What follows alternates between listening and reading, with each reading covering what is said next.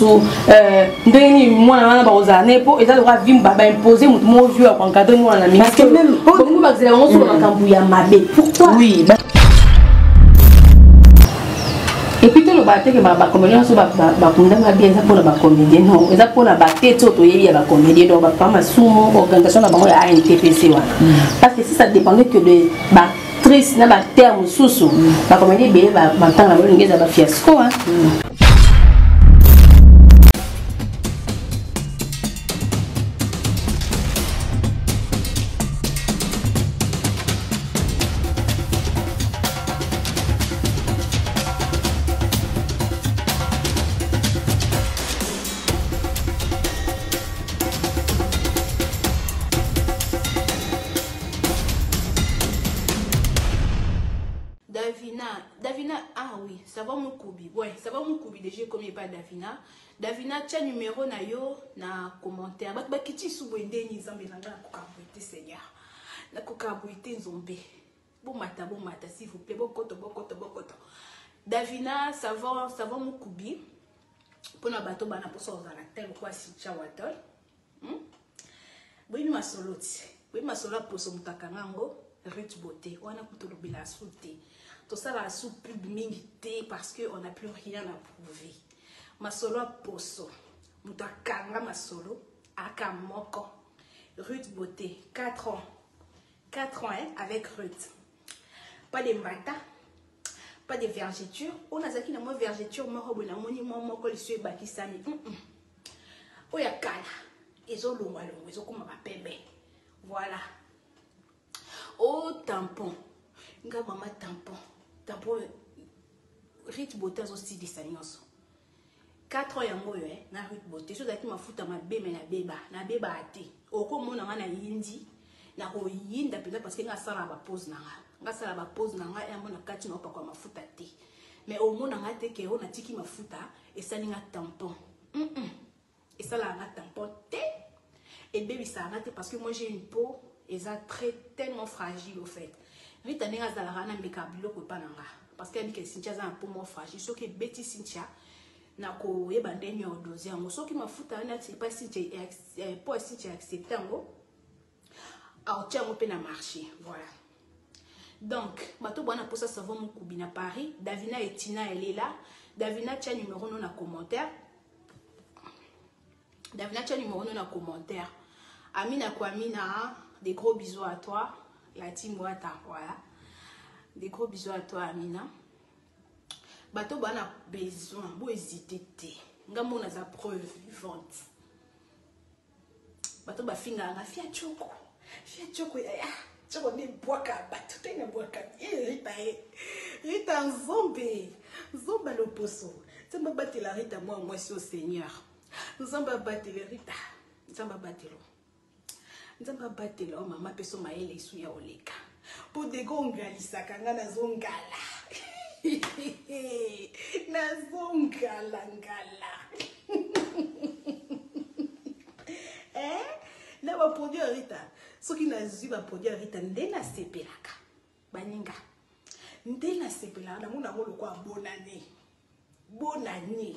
Sikoyo ya bongo yo kovanda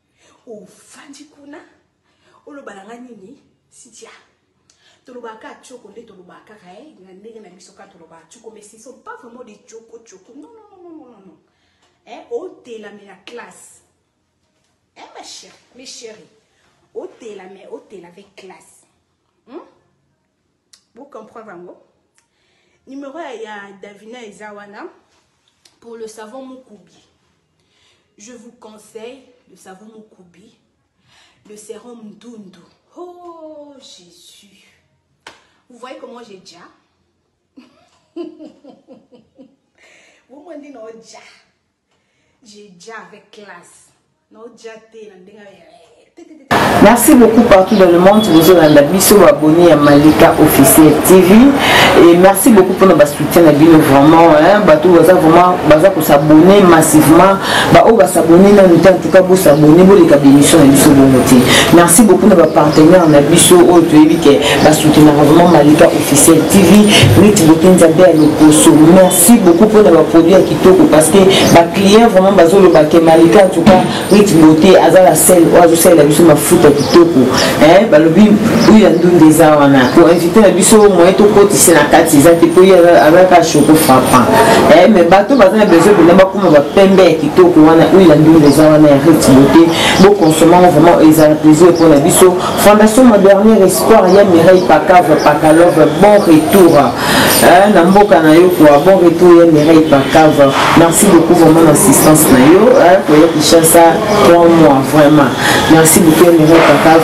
merci beaucoup na bino tout oyo bozala wana vraiment mpona kosoutenir mani ya malika physiquement moralement financièrement et surtout spirituellement Hein, mon pasteur dit patience nzambe azali napesi yo bambote merci beaucoup awini bianga na bango 100 jour nayebi ke boza déjà scote bozela tosolola tolakisa invité na biso ya lelo vraiment azalaka toujours na biso tolingape kozwa ye na basujet ebele oyo eyaka mpe na youtube et surtout mingi mpo na bacomédien la supreme bitodi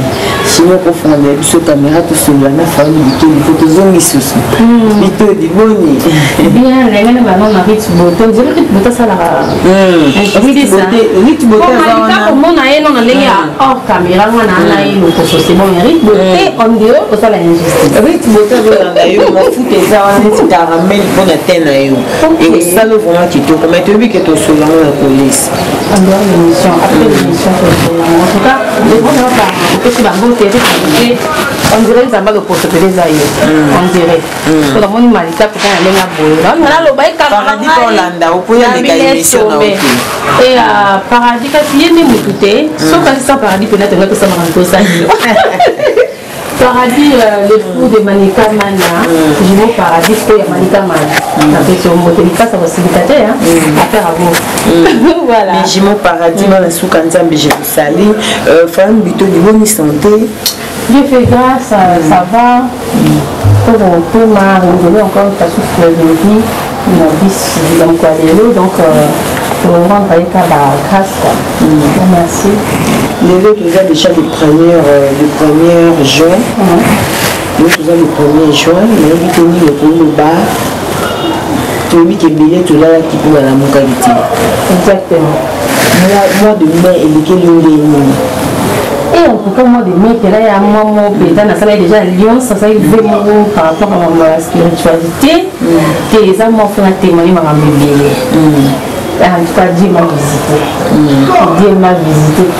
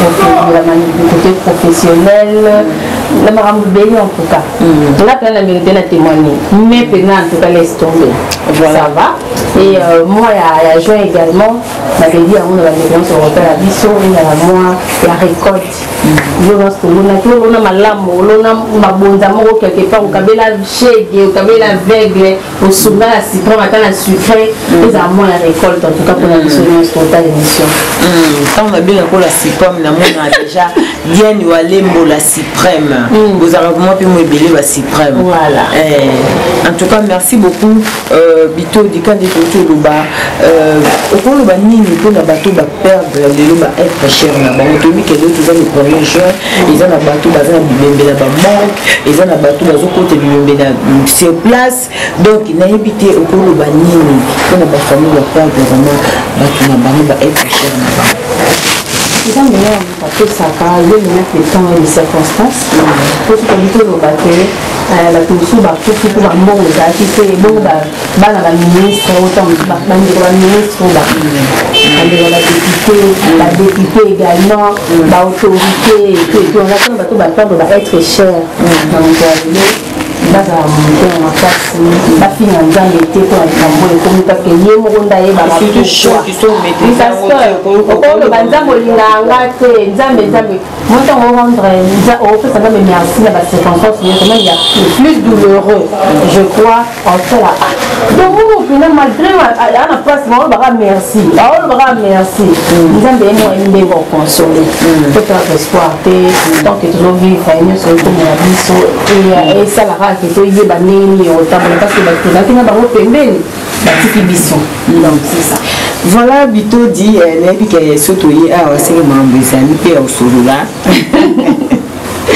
seke makambo mpe eza yosola mais avant na banda na première question na nga euh, naopesa mwa mboto na la joie amado pitu na très très très très puissante eh, la joie amado pitu na ntango nalobaka très puissante ezali seke makambo eza merci beaucoup à toi mère adieta kukumba mère adieta kukumba la femme de quelqu'un je te salue depuis quelque part lionel mukendi ozoyokana te na tiombo eh? donc esalama système wana esala vraiment bien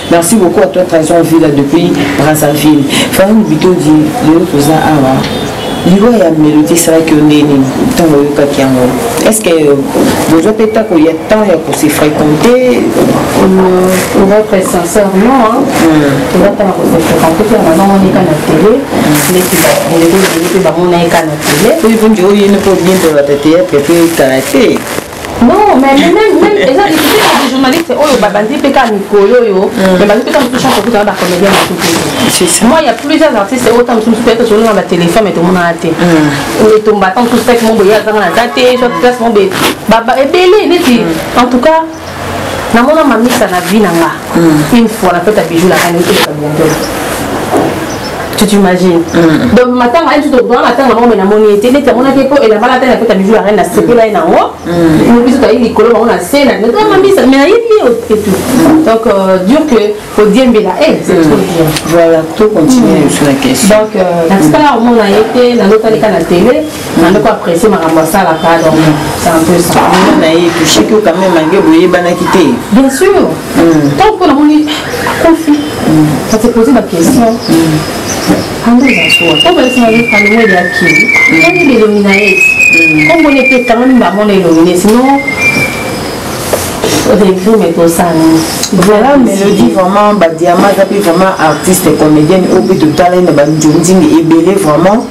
Euh, tozo profite mpe kopresente bacondoléance na biso na famille ya tania zola oyo mpe aza moko mpe ya banjonjingeis aza moko mpe ya banjonjingeiswi aza moko mpe ya banjonjingeis pende mpe ya kala nga mpe nayebaki tania zola en tout cas euh, nayebi te lokola obi ke temps mosusu boza temps mpe ya kose fréquente te mais toyebi ke eza bahistoire mosusu ezala na bato bayebaka mais ça prouve que oyebi vraiment te mais quand même omona nyonso ezoleka na youtube tomoni ntongo matanga ebeba melodie eye esango eh, melodi eye bato tu bazalaki wana baoyo akokende na famille ya melodi bakendaki mm. eh, baoyo mpe tomonaki mpe bavideo mpe bacomédien baye te bacomédien baye te dabord nano okoloba nao nini komonaka melodi akufi na absence ya famille na absence meme ya bato ya mosala bacollègue esalaki ondeni omonaki video ya moto azalaki pembeni na ye oyo abandoninga leli etu allemagne omoni so tovandi na kini awa nayebi ke nakozala te ntango hmm. façon nakotambola hmm. ata na ndenge ya kishege exemple akokutana motu moko ayebi na ntango mosu ayebi hmm. Tata boy bata muti. Une fois, une fois na mona mona Mike la duchesse. Mm. Na salon Caroline. Mm. Ayo sona Caroline lokola tata mwasi na ye donc collègue ya papa. Mm. kisusu eza te kuna mm. mboka mosusu mm. okozanga munga mpe ntango mosusu olie biloko sa munga mm. eza mpasi meme na famille ebongo omona ata ntango okata motema ebongo omona ata ntango ndeko na yo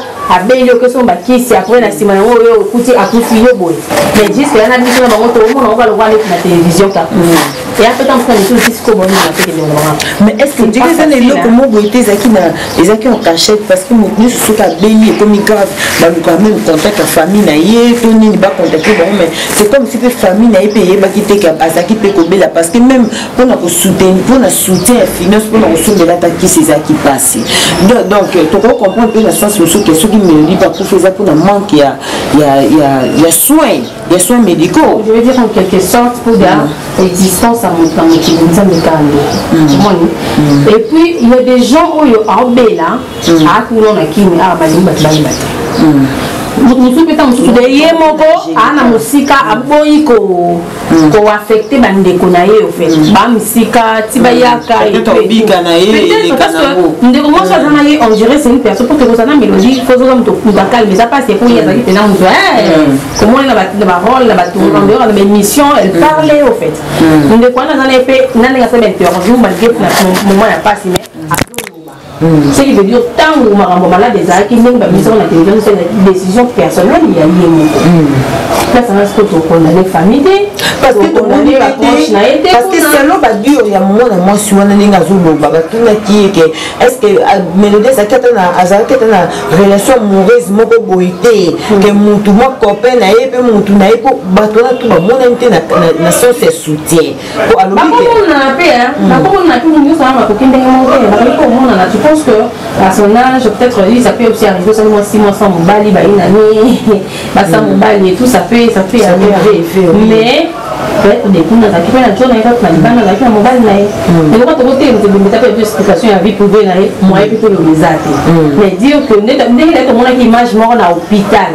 Hmm. ce que y a eu quand même euh, soutien soit kovanda ne kuna na ndimi te mwana mwasi wana alobi nyonso alobi mbongo oyo azalaki nango esilaki hmm. parce que babandaki kozongisa pene ba 3 sacha makila hmm. mbongo na ye esilaki epuis ekomaki motu mpo na soutien neti voisine na ye mwana mwasi wana alobi yango batuni mpe question est ce que relation mauvaise moko ezalaki te boye na babi ah na début peut-être bato mosusu badosunga mais à la fin ekomaki mpena maki mbongo eza te yango toni tolobela na mpona c'est triste hein mm. c'est triste tomona yango te moi je vais pas condamner bandeko ya baartiste comédien na biso mm. na condamne bango te mais soki eza mwa conseil na opesa bandeko na biso ya oyo bazaka sungaka ba artiste et eza na bato basungaka pena ba artiste juste parce que par son travail par sa manière de faire euh, les choses d'incarner les différentes rôles et tout ba aida ba artiste mosala te question artiste akaka sur scène parce que obwaka ye ndosi tomoye soit parce que azo tourner mingi nde o soutenir ye mm. plusieurs personnes soki ozo tourner soki kama soki obenge pa boyo yamba téléphone or oh, ye moto akomaki nalinga koa eh, nalinga koa eh, et tout et tout mm. baartiste ebele malika mama na oloba nayebi ko comprendre nga mm. baza ebele o oh, fan na yo fan na o mais eh, bayaka après yo artiste etant mosusu journaliste okomisi ye ami okomisi ye famille soki akoleka soki teki famille esili mpona ndimi toyitaki na bacontact toujours mm. eh, bato oyo ya zarazara na bango wana mm. nandimi te que mm. sika ozanga babongo bakristo mosusu enge ekoma mpe na niveau wana mm. oyebisangaaseloigneki mpe ondire na bato mpe apparemment ouais. mm. mais koselane na bato kokende na mboka omoni malika moto motala na bareve na ye mm. moto motalaki place nini makoki na esuki naya mposa obima mboka misu ya bakutu nga so nazwi ata nakoba ata braza nalingi na kite mboko mm. soki moyen na ye esengaki kaka kite mboko akeye brazaville mm. ayebi mm. pourkui akitaki kinshasa epuis tokondane mpe kaka te ke tokondane mpe kaka nano te ke akitaki kinshasa parce que azalaki désespéré non c'est parce que peut-être amonaki kozala mpo na ye kovivre mieux se vivre place là où il y a l'océan mpona hmm. kwana océan ezalaka hmm. on ne sait jamais oui mais ndeka ndenge olobi bongo motu na moto avivaka mieux place ye azaleli euh, mais to tomona mpe miso mama top auto osala mpe pa leketio hmm. alobi mpe baraison oyo esalaki ya mélodie akende point noir cetadire na raison moko eza que euh, ekutaka na bamelaka ye mbongo ya voyage epa motu moyo bazalaki na relation amoureuse mais ezalaki lisusu te relation etikalaki mpo azalaki mwana poto bamelaka ye mbongo ya voyage epuis so tocomprendre eza peut-être na bamakambo oyo parce que makambo eboti mpe mm. makambo eboti melodi na mamisa mpe bazalaki na kibombanda mpo na masta na yo ekosala bon comment ça na bourgmestre na gouverneur tu penses vraiment parce que comme ta kofu makambo yaki ebele emo bapropos mosusu ya na réseau sociaux ya baémission yango on évite seulement hmm. surtout na moment famille eza mpasi te makambo mpenza ezali yango naotuna hmm, yango nabina sisa question na ngai hmm. tout ça babiloko wana tout balobi kibombanda ezalaki te mais de fait gayede toyebi entre biso bafille soki déjà oyo abimi na mobali moko na oyo déjà ta tozali bacamarade topanzana ata ezalaki nini donc relation ezalaka ata ta toyebanaki mpe te mais so tokutani ke yo ozalaki banda to guerre d'esprit ezalaka kaka eza parmi babiloko oyo et puis ekutinisaki ye na bavue bascoraki ye mbongo ya voyage yango esalaki vraiment ke ntango mosusu akende na ye mais na kati ya makambo wana toyebi ke moto oyo eh, abota na mamisa eza papa ji bavo moba oyo oh, totika biso mpe mpe ya sonama mwa barankine wana mpe ezalaki mpo oyebi ke mpo bafille esalama deja bongo babiloko wana nyonso ebimi lisusu marie entre mélodie mpe ya son âme avec respect ya makambo oyo nakoki tokolobela ngo kuna bemission te hmm. na mamisa nani nafaki mamboko mpo selon badire ya mama top eza que mélodie nde nitazwaka mobali ya mamisa te eh, alobi te kazwaka mai eyo eh, eyebanaka ke vie wana abandaka nanu na mamisaobalidaki abandaka nanu ntango hmm. akomi komelange bango na mélodie hmm. soit ntango moto balingaki après eza mélodie non mm. donc ndoli ngai aza na choc eza melodie te eza mamisa parce que mobali azalaki na liboso ya ye mm. bakometi na niveau ya bota relation ondima kobota eza relation ya un coup une flamme te ya relation quand même omoni que c'est mm. bon ça va mm. tu vois un peu na bango mai nani faa kite kongo mamisa mpona normalement par rapport à choc toyona bi décision ya moto kolongola mboka peut-être biso tomoni kaka ke mpo na mobali mm. epuis mobali oyo boyi boyebaki na ye ezalaki ntango mosusu mesio wana mais en dehors ya des hommes oyo vivra na ye mokili mpe ntango mosusu eyebi te epuis eza kaka te ke choc amoureuse nini tokoza moto adeplace mm. parce que ce qu'on dit maintenant là c'est aussi mpona ko éveiller ba jeune fille mpo mm. melobi deja kufi mm. makambo oyo ekomeli ye na bamakambo toyoka eservir bandeko mosusu des leçons pas seulement les artistes je vais désespérer parce que mobali aboyi nga mm. te totikaki mobali yango azalaki yeba bana yebe na alliance combien de femme oyo mabala ekangami mm. azokontinue vine normal mm. place kuna omonaka raison vraiment ya mosinje wana eza te mpo nombre d'année nombre message bavon asila succès na théâtre nombre d'année oyo nkombo ne kutu apart nzembo allez gile bavon mwamba kakataka tian hmm. ewumeli déjà hmm. basali kiboma ntango komo ezalaki na succès makasi hmm. no ivo lepoke bamesene mosusu no parceke akolata nkolo ya susi wana parceke mibali mosusu bando omoni te tu es sûr parce que babi ke rand ezalaki parce que na yamba mpe moko mpe oyo azalaki mpe motu mpe azalaki na mélodie junior moyo wabo alobaki badio na ezalaki émission eza wana alobaki parce que na moment wana esalaki neti guerre mpenza ekomeke avant internet te avant internet voilà. na moment wana esalaka vraiment guerre ke neti melodi azali mwana eh, kota adofreka te mingi batournage ya lemba ekoma mpe neti soki oyo azalaka neti mamisi aza na peshanga na nini parce que po evane meme melodi te mosusu ndie na peshanga mpe babanda kosola te mm. parce que esala neti clike ya bana ya bandal na clike ya bana koto oyo mm. ozo comprendre donc mm. cestadire seke guerre mpe ezalaki kibombanda mpe ezalaki kibombanda wana eza ya le nini mpo emema moninga na liwa lelo malika kibombana ya ne nini wana po mamisa mpe nayebi te so basomelaki lopango eh. nayebi te mina motu oyo akoki ozala na mawa soit motu akoki ozala peut-être na mwa kanda soit motu azwaki lecheke na relation mm. eye motu babotola ye mobali motu olinga tokomisa mai mafuta ou quoi pourkoi so motu kaka akufi akoma na raison eh? on ne tozo condamner na biso mowei te mm. s'il vous plaît s'il y aura moyen na bandeko bofréquenta bandeko bandeko bazotika biso botika koyelaka biso basecret soki oza neti na minute wana naposa nayoka secret peut-être mama ebakata ye abimaka na wili mambo abimaka toyoka ngo ntango aza envie toyoka ngo boye mosokobimisaka biso koconfirmelaka biso barelation soki bainformation ya bandeko na bino bacomédien oyo bosefréquenta bolia na bana mama na bana papa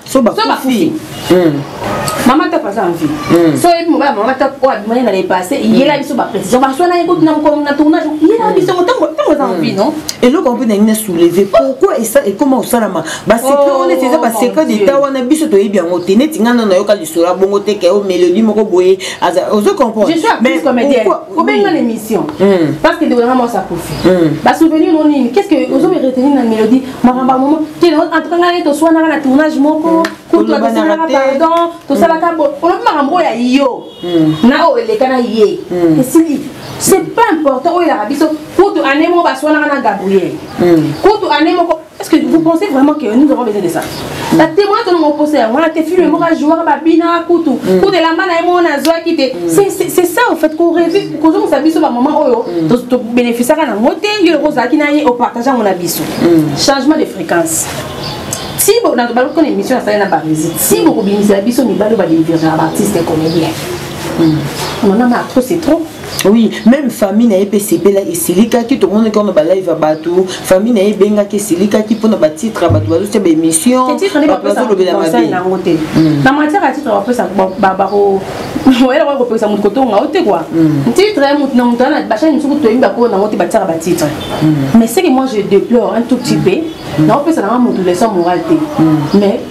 comportement mwa wana bozalaka na yango ya kobimisaka barévélation ya baninga na bino so bakufi mm. ce n'est pas gentil lisolo mpe ebimaka mbala moko boye place ebandaka eyebanaka te ebimi mbala moko mamisa tiama mbanda 15 heures live live na ba révélation nayebi te so bajournaliste bapozaka baquestion yango na bato je ne sais pas et c'est la honte na préféré encore hein mm. journaliste moko aleki akomona makambo bafaussete moko tobika ah yadisa makambo ya lokuta mais ntango tokomona baartiste acteur ou actrice déjà bimi aloba bavérité mwa boye pourquoi babebani na moto na 1900 na quelque chose mm. boyebi biso na 2000 quelque chose mm. mpo tosala nango nini mpo toyina moto atikali na bomoi so mpo tobimisa ebembe kazalaki mpe mamisa mpe na mamba diana abimaka mpe azalaki endemi mpe na diana kibombando eza na théâtre malika sokisokitomitofunga kibombando eza na kati ya théâtre hmm. bamiteya makasi hmm. bacomédienne te bwa miteya makasi hmm. po tobaki na lolo ya babiso biso oyo mpe na lolo kwa ngai seke na selwana na bato ebele ofait peut-être na ngai na retourne peut-être na bato ebele tu étais avec mon gars mm.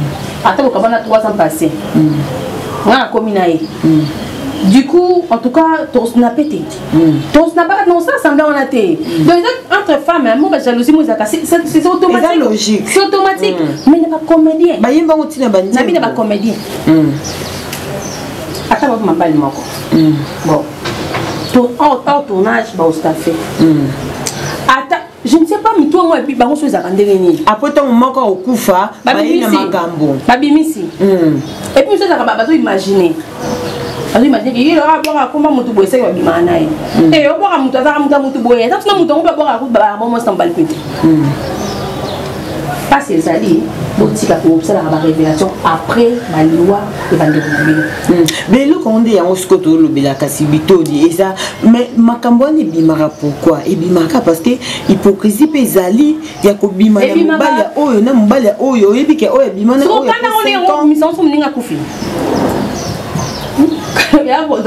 koza motema mabe tolo wana lingala eza koza motema mabe hmm. ata ebe baseka moninga ntango akufi ntango azali na bomoi obenga bino ya bamisa ntango milipo kabobimisa makambo wana te pourkui quand hmm. vous pose des questions artiste nini amarka yo acteur nini amarka yo botanga koma motu mosusu ntango motu yango akufa bokobeta masolo ya motu moko akufaki attend depuis tokoti année oyo bacomédien nyonso bosala émission mpo na mélodie ata na terme ya dédicace nande ya dédicace ye nande ya sotata joyeux anniversaire na page na ye na facebook na ye meme atanda akufi boye mingi mpe te naomona makambo kutu nanu ya profite bolingo lokuta mpo nga na moto nasala semblant te soki toyeba quand même que non affinité oyo ayaki na moto wana nani déjà posta mélodie joyeux anniversaire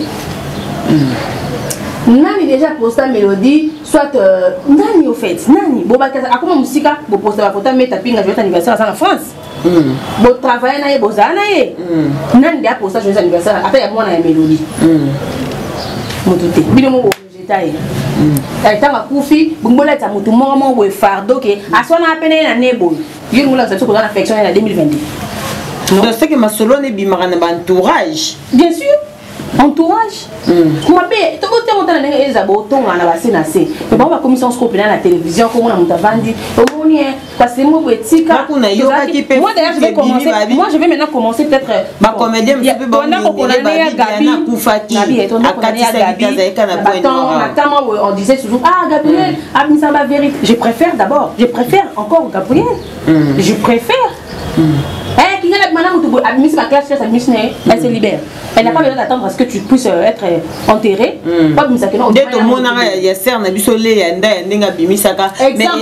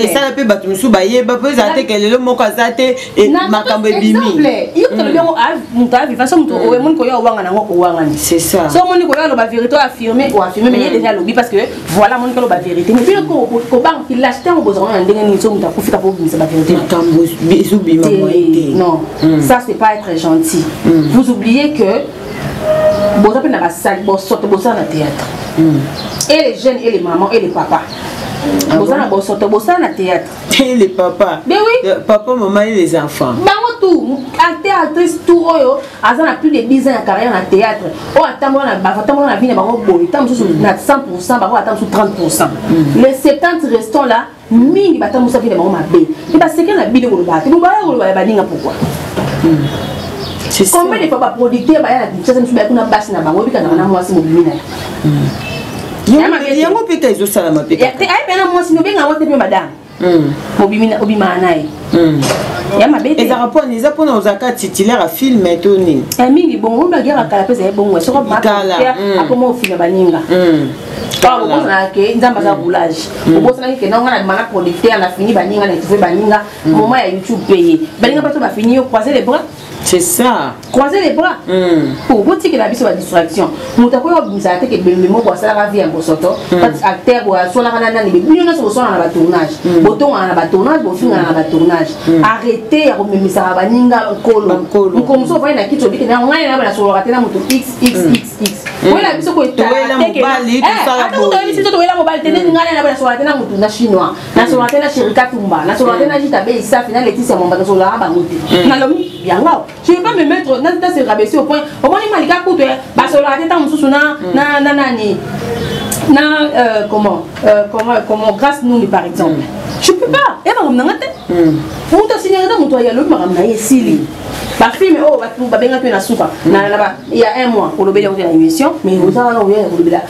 mwa mwasi boye basi wana tokendaki voyage mm. kuta ndo bana moto boye pourquoi tout ça pourquoi hmm. ya des vieux parce que ça ben oh ba bazo expliquer vraiment clair pona nini ela ba ba jo mususu ba ba fi ba mala ba ona vie hmm. ye mo mukolo mobali ayo ka sonya ko ba ka dimana adimana mobali ya ba hmm. ya des relations la normalité ils appellent logique moi ça mususu peut-être mususu soni te mais ajouane kaka na discrétion na relation mo quelconque hmm. mais oyo obimisa na tenir tu es sûr que mémoire na ye aosepela orespecte hmm. mémoire na ye hmm. non barelation ya des relations ezalaki na délire par exemple yo ntango ye kutu baswanaka te kutu babundaka mpo na motu boye te non et puis dans tout ça mm. vous oubliez que famille na ye eza mpasi mm.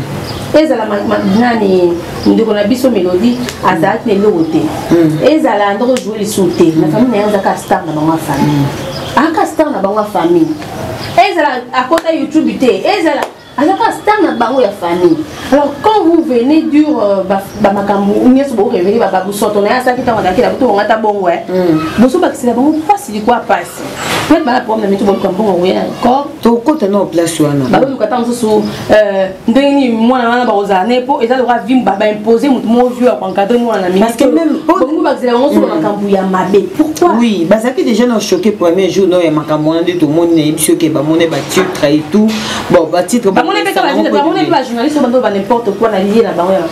na na lopango na banga fana c'est ça tu sais qu'il y a des gens qui manquent à faire hmm. te bato bazanga makambo mosala hmm.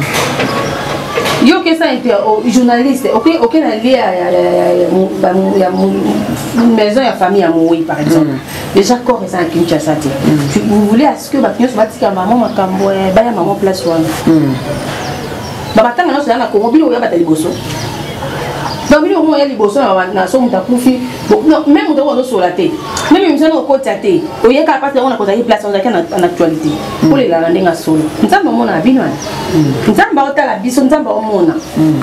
c'est pas bien ata ndeko noko akokufa lelo ya malika ndeko no mpenza soki tokomona brasil ekozwi vol te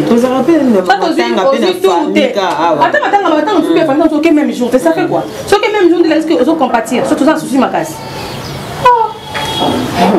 voilà merci beaucoup bitodi euh, tozo continue kaka yango nde tolinga toloba parce que tomonaki video ya ndeko na ye ndenge abandaki kolela azosenga lisungi azosenga lisungi parce que même mbongo akisi ezalaki te bongo ya kokunda ye tozotala baparametre wana nyonso mais ntango tozosentir déjà ke motu kutu nani akokisi ata 5 jours te bamakambo ekomi déjà kobima entre bacomédien mais est ce que bolingo wana vraiment ya kosala soutien mpo na ebembe ya melodie ya bazalaka semblant epuis tolobaka teke bacomédien nyonso bakundama bien eza mpona bacomédien no eza mpona bate ti oyo toyebi ya bacomédien donc bapapa masumu organisation na bango ya antpc wana parce que si ça dépendait que de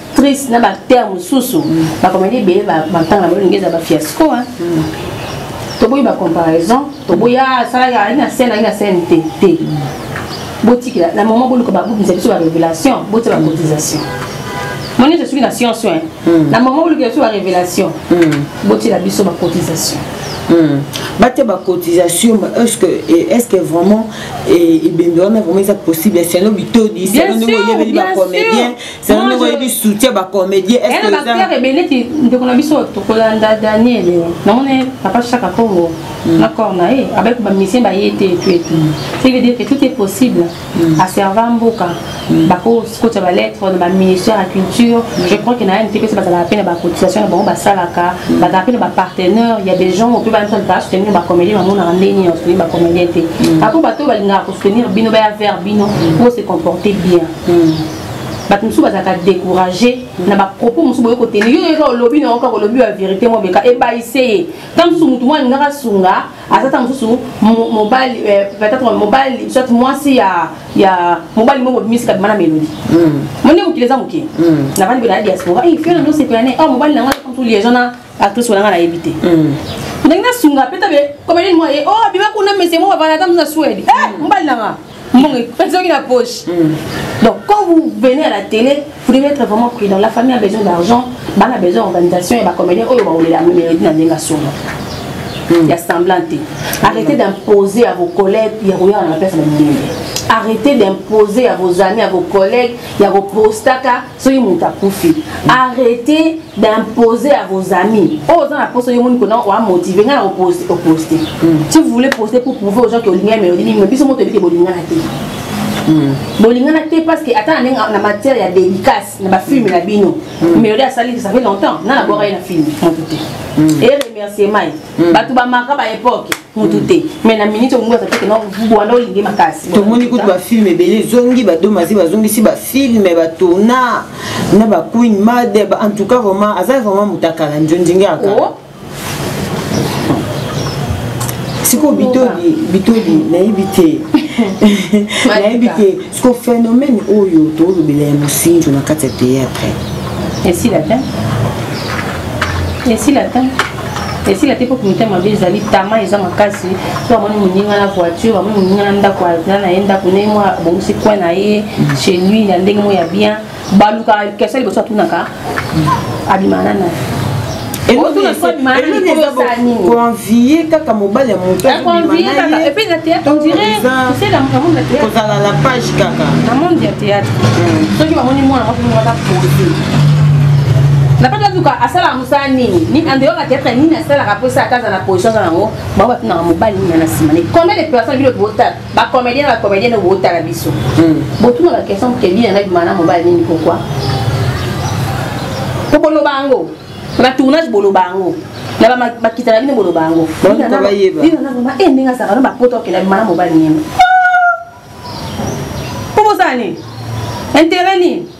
intention nini arrêtez d'abord oko créer petit albert moi petit kalu na yo osali ye mpe zwi mpe eza kaka diaspora te yo yebata province ndenge babe je vous salue bongola na biso depuis bukavu depuis butembo depuis bunia depuis likasi depuis euh, kasongo kasumbalesa eh, bapretre bakote kuna bango basolola yango na bafranc congolais omona dine star na biso dine na bende bakota bakasi non napesi kaka exemple eloko no beti na bakasi non napesi exemple hmm. et puis lorsqu'une femme aza motu likolo bo penser ka te ke mobali eza na nsima misusu bango excusez moi le terme c'est que bato baza distrait na théâtre baza mokie parce que koluka koyeba déjà mobali ya dinana hmm. yo kanga pende bato baloba bongo ngana na posa okanga te yanga bango yaka mbango fibre optique hmm. e mama oloba bayebi hmm. naso amoni comédienne moko boye neti bana na biso oyo bapeshanga mpe leki kuna tie mopanzi bagénération bango na tie mopanzi eh. bandeko bayesiko baoyeba ndeni ye la femme fidèle hmm. bandeko bamikolo oyo luna pa azwi voiture mukani apa azwi voiture eyapi mana na mikolo hmm. boyebi te ke akosapeli kelema na bongo bato nani bopesa ke azonga motuka c'est ça bozwa masida milimo mabe bokosakrifie bamilimo na bino parce que vous voulez tout savoir créez vos propres contenus okomona mwasi atengobi e eh, mana jona nakenda jona apesa ndeko na nga mwasi omona mwana mpe ya toi Hmm, napesa ndeko na ngai ya mwasi jo wana yaya ntango opesa ndeko na mwasi jo wana parce abima na journaliste x hmm. parce abima na comédien x bayebi soki ti comédien na so journaliste ana telema ezaka mpo na mobali ma ta mosusu 25 pourcent mpo beuta mpa mobali wana 75 eza ye moko bakotouche touche touche touche touche bino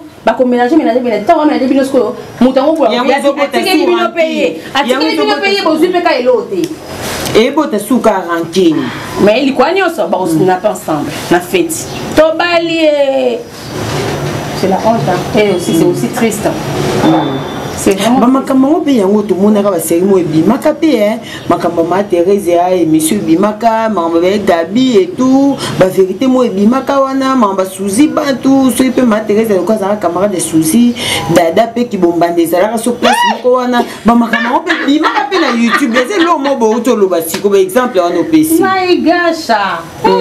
nzambe bacomédien hmm. bolingana boza na personnalité hmm. nabondela bino boza na personnalité hmm. po mpo na ngai nde bato bamitiaka baartiste ya bamboka mosusu ngai mpe mpo na bino nde bozo représente biso so babengi bacomédien ata osolola na ye te ye ka nde moto babima comédien yango kobimisa moto apusu moto ya moto akoma comédien non mais po se comporte te pardon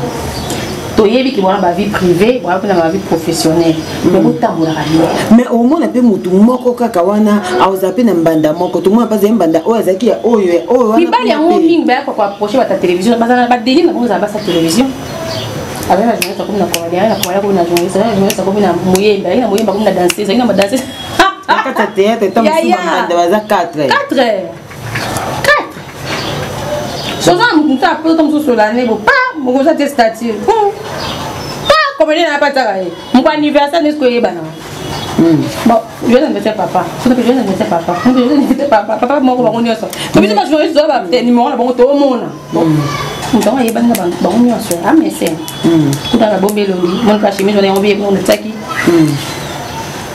en tout cas changer vos vies mm.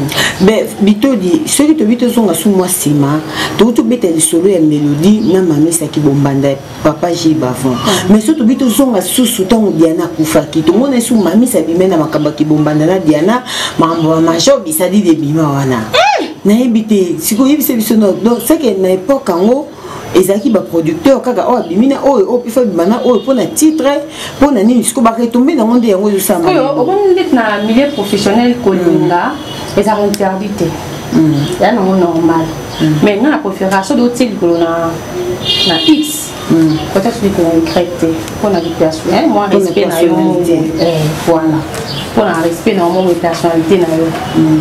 on dirait na kala potopoto yango bandeko na biso ya lelo bazwa peut-être mayele potopoto eza makasi na théâtre na kala yango eye ntina génération oyo yango mona yemo bayokanaka te so mokolo moko okufa nde toyebaka toyeba meme corpulence babima na mibali moko hmm. oka tokendaka angola te baboyelaki kuna bandeko kozwa mayenge s'il vous plaît yango botianaka maladi hmm. yango botianaka bapoison nayoki kuna o oh, babakelaka mpe ye maladi yaya hmm. bino oka boyebaasa barévélation bino bakomeli bokomosa barévélation bozwa bakiti bovanda loka bokoma chère collègue boyebisa biso bote lelo tokolobela suzi bantu mm. abima na motu boye moto adeviansa ye motu boye moto afutelaka ye ndako motu po tozala surpris te na bamatanga kosurpris kozala surpris ko tosurpris te eza nde ke po boya kosalir mémoire te parce que ce ke baoyo baosala na kosalir motu akufi mm. ya kosalisa baoyebi te bobimise motu abotola mibali bobimise motu alinga mibali ya bato Peut-être que tout le monde tout a payé bien dans on appelle la jeunesse à ma sola mais c'est juste bafon même si on a été marié. Hmm. Bon, il m'a dit. oyoka mawa nayoka mpasi mpo nzambe alingaka bino mingi yango sida na théâtre ezalaka te mpo sino te hmm. ah, ezalaka te ezalaka te ezalaka te tisina na théâtre ezalaka te mpo hmm. niveau mpena nde basalaka batouche joue hmm. nayebi te hmm. voilà bito du tokela biso déjà na chite Euh, merci d'abord pour le passage na vraiment et nayebi te nini oyo okoloba parce que ebembe ya mélodie mpo eye esenga vraiment soutien makasi baartiste na biso bango mpe kozwa déjà neti black peshanga azala kuna mama azala na mama denise nyakero te aza mama bato nyonso me tomonaka mpesi mingi tomona bafoto te bitoli bon loba kaka mode eh! encouragement black aza motu na yo baza ba relation ba papa déjà comme comme la kaya ko a contribuer euh, na matanga ya ya ndeko melody mm. nga te mona loba na télévision puis na ndinte ka a lobela na télévision ka kenda ko contribuer te black aza camarade ya ya azara na mami sale te ba camarade black na théâtre depuis le début ya carrière na ye mm. ti lelo to yebi na biso mais nga mona melody te te melody te melody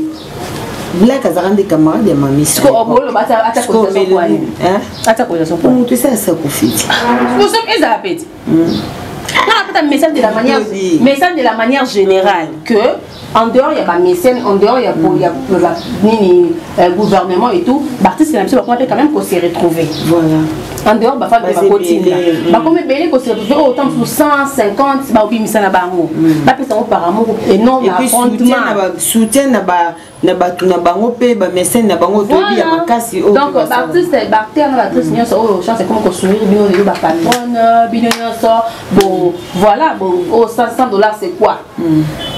soki bokosoutenir famille eza bien parce que elle a aussi laissé une fille oyo aona na besoin ya bakelke soki bayi bakunda kuna siko mwana wana mpo aya koto ekozala nde ninisoki corps eya awa esunga bandeko mosusu oyo babaka mosusu makoki ya kokende kolela ye kuna te mm. ezonga fami kasi fami nyonso bitele te mm. esala bien mm. bato ya plus temps ya na moment oyo ya disparition ya ndeko na biso ete ya bandeko batikali ete ya bango sikoyo nde ete ya bango ke solitude ezala solution ya baproblème te omoni so omoni natikala nga moko nase éloigne nase isole ezala solution te soki omembekolando atoki na après océan elando kaka Mm. Mieux vaut d'être entouré avec les gens, mm. partager tes peines, partager tes douleurs avec ma personne, il y a confiance. Mm. Là, tu seras épargné na badanger mosusu mpo maladi ekomi yango ntongo midi pokwa lelo bato ntongo moto akufi o akufa na malaria eyaki tension ezalaki nini eyaki cœur ondima te tokofanda mpe boyanga na problème ya grave mais na partage te soit na deside kaka nde ndeko na biso moko ya télévision asizolaka aboyi na ye na mwana etu etu mm. entre nous mm. mwana wana ntango amona apelaki mwana moyaki esala eza te mm. mwana moyaki eklase boye eza te esali mpe mpasi ofeti Or, dans la vie, il faut apprendre à vous partager pour trouver la solution à différents problèmes. C'est ça. Arrêtez de faire des révélations bidons parce qu'on n'en a pas besoin. C'est ça. Vos amis colos, bo se respecter mm. bo respecter ba producteurs oyo bataka ba mbongo na bango malgré kindumba bango ki mobali bataka ba mbongo na bango mm. pona ko, ko produire ba ba œuvre na bino pona ba bino chance ba ba yeba mm. bino bo tika mm. ko salir ba producteurs wana parce que bino boza la première personne oyo bada ko kende ko séduire bango Mm. bozala ba première personne oyo banda kobeta baninga na bango baninga na bino mosinzo mm. epe baproducteur mm. laisse le producteur en dehors mpe ya mamisa ata mosusu misusu mpe balekapabele voilà alors botika kosalir mémoire ya monsieur jules bavon botika kosalir mémoire ya bandeko bakomede oyo bazokufa surtout ndeko melodi botika kosalir mémoire na ye bobombaki ya mitie na bino soki bino témoignage oyo batémoignage bavécu ya yo na ye koyela biso vecu te fatu kayembe kutu basengi moko boye bapesana moko alikelemba mm. toboyi mpo ozwaki courage ya kobenge na tournage na yo te mm. ozwaki courage ya kobenga ye te alonga mpasi aza aya kinshasa mpo ya kotourne na filme na yo mm. non bino bokoma kosotoproduire ntango ali mwana se nani abengaki abelaki bana na ye motu te ntango akufi bongola biso badiscours ya aswanaka kutu na moto koswana nde baswana na moto ya 1997 nde esaliki kanda na kosotope na point noir la minute oyo de lâche boalokuta Hmm. Voilà. Voilà, Bito dit. En tout cas, même Mélodie Pazaki, qui ba mécène à l'époque, pas bandé pe ko boaka, ko sala pe batona moi rappel, ma wa pe ko tena mité mana bango. Ata ezaki quand même moment ni to ebi ke batu musu ba fifa bongo. So mutana za suna scène te, moya ti des até belé même na biso pe awa ezara bongo. Oh, Et ça partout. Faut à Michel Lengo grand saoudien. Vous appelez donc sous 6 mois, 6 mois il n'a pas tu ne passes pas mais eh, Mm. nasali mobala mama nelele mm. vola saudienasali nini ah, non en tout cas le guerre le cœur de madame nelele vola saudienne mm. mon vieux michel lembo laisse tomber il y a pas de comme toi et tonton mao maudi là aussi depuis les états-unis papa surprise laisse tomber donc il y a des gens oyo asepela na baservice na yo bosololaka bien azo aide yo na financièrement moralement pas spirituellement ça fait du bien ça comment ça vous fait que lelo oyede moninga soki ozoza wana mpo na ye na bamoma ya mpasi soki oleka su te tie frein bo rendre ne fils que dernier hommage esala bien voilà basalitation na yo basalitation na ngai epai ya nabi deja couple lempo depuis lausanne nabi deja tonton mao maudila depuis les états-unis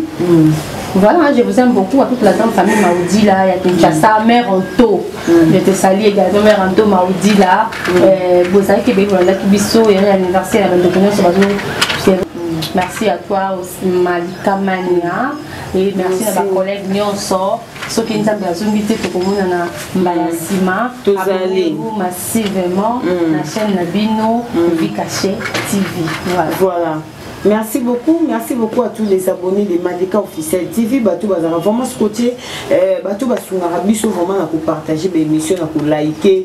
Euh, na ebi ke boza tellement et beni na ebi ke bolinga nga boza wana. Euh, Ginette Poutou, je te salue. Euh, Nelly Katumbaï, hein, de gros bisous à toi. Merci beaucoup. Na bino tout boza ki wana vraiment à dieta kukumba.